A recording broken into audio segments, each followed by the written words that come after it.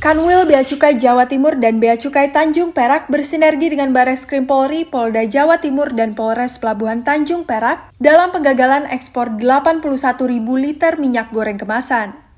Kepala Kantor Wilayah Bea Cukai Jawa Timur 1 Patmoyo Triwikanto menjelaskan bahwa penegahan dilakukan berdasarkan informasi yang disampaikan oleh Polres Tanjung Perak, Surabaya terkait adanya dugaan eksportasi minyak goreng yang merupakan salah satu komoditas yang dilarang untuk diekspor sesuai dengan Peraturan Menteri Perdagangan Nomor 22 Tahun 2022.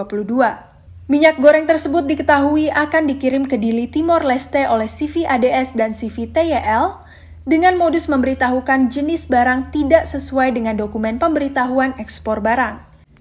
Menindaklanjuti informasi tersebut, Bea Cukai dan Polri melakukan pemeriksaan fisik bersama dan didapati 5 kontainer memuat 81 ribu liter minyak goreng.